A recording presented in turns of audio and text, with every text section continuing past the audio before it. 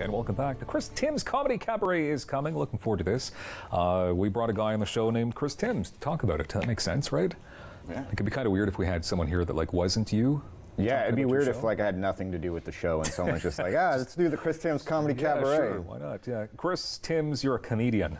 I people tell me that. Yeah. Yeah. How long at this point? Because you you haven't been a comedian your whole life. All of a sudden you decided this is this looks fun. Let's do been about nine years now, Yeah. Pretty pretty long time, I guess. Pretty long time. Almost a decade of destruction. almost. Yeah. Almost. What uh, what do you love about being a comedian? Uh, no boss, really. Yeah. I can say almost anything I want on stage, Which is and yeah, and people you laugh. do. I've seen your show. Yeah, I cross some lines. Yeah, which is fun. Yeah, it's all right. It's all in good fun. Does it feel good? Does it feel therapeutic to cross those lines sometimes? Oh, sometimes? absolutely. Yeah. The, the amount of money I save on, on therapy is ridiculous. You just get out there and you tell some Yeah, jokes. exactly. And Sometimes it just don't even have to tell jokes. Just pour it out there and hope for the best. just start talking. yeah, why not? Which feels good. Uh, okay, so all these years now, almost a decade of being a comedian, and it, how long has the, the cabaret been around for? Seven years. Seven years. Yeah, I was looking at that the other day. Well, it'll be seven years in January. We started in 2011, so And it's been a pretty impressive uh, a cabaret as well. You've got some pretty decent names on the bill over the years. yeah, quite a few. Mike MacDonald, most notably. Yeah. uh, it was the first show he did after his liver transplant, like his first headline thing, and it was uh, it kind of made the show special for me. I grew up watching Mike MacDonald, so we did the show, and it was really great. And his mom was there, Mm-hmm. and then after the show, his mom came up and was like, "Oh, thank you so much for putting my son on your show." I'm like, Yeah. "Are you kidding me, lady? Like, Something? Thank you for giving birth to this man." Yeah, they are an incredible family. You're talking Yeah. about Colette. Yep, Colette yeah, MacDonald, absolutely. and she's incredible. Uh, s- so this time around, uh, you've got the cabaret, but it's it's been off for a little bit. You've been off for we- a year or two. About a year. About a year? Uh, while they did all the renovations, and then uh, I thought we were done. We did a finale show uh, about a year and a half ago, and uh, the new uh, producer gave us a call and was like, "Hey, we'd love to have you back." So Mm-hmm. Here we are.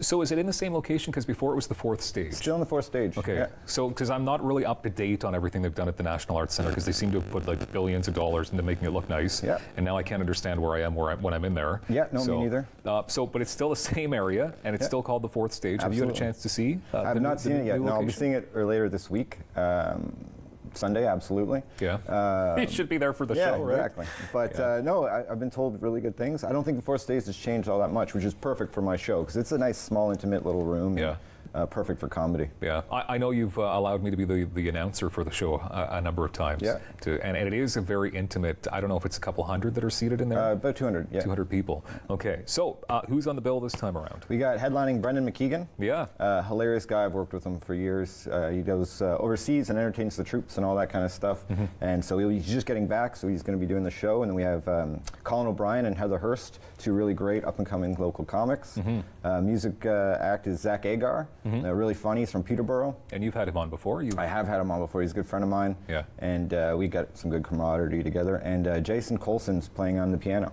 Oh, that's cool. Yeah. Because it is sort of, I mean, it is a comedy show, but because you incorporate, you know, piano and, and a musician, it's kind of a bit of a variety show. Yeah, I like the idea of that old time cabaret. Uh, where you'd go and the guy, you had the guy playing music and you had like a musical act as well as the comedians and it's like a nice night out. So I want to try and play on something like that, but then you know a little rougher around the edges. Yeah. okay, fair enough. Is it neat to be on the the stage, at the NAC?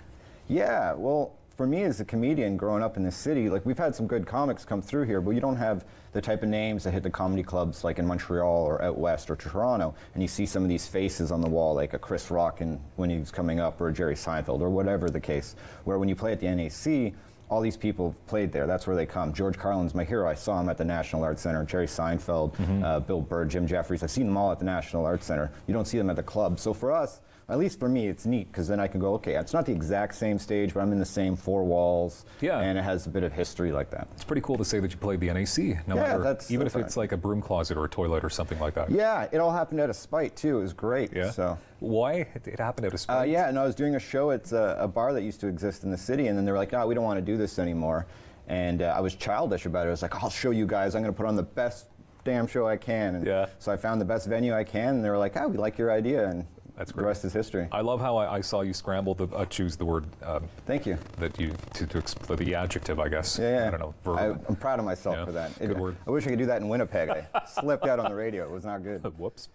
Uh, and it's the longest running independent show Yeah. as well in Canada. So tell us about no, that. not in Canada. Sorry. no, no, just in Ottawa. In Ottawa? But uh, yeah, so I don't, I don't, uh, I'm not affiliated with uh, Yuk Yuk's or Absolute Comedy with this show. I am, I do most of my shows with Absolute, Yeah. um, independently from this. But uh, I, it's all my own money. I work my day job uh, cooking food, Yeah. so I can fund this show and my other endeavors. So. So it's good for people to come out and support a guy. Oh my who's God! Not even support me, hard. support the other acts because it's like a great showcase for them. You see them all at the same, you know, the same stages or the same rooms in the city. To come out to something that's a little bit more extravagant, a little bit nicer, Mm-hmm. um, arguably. Uh, it's great for them, right? Like it's, Yeah. it's it's fun. It's a fun night out for all the performers as well as uh, the audience. Tell us about your podcast. It's doing well. Uh, the Socially Challenged Yeah. podcast.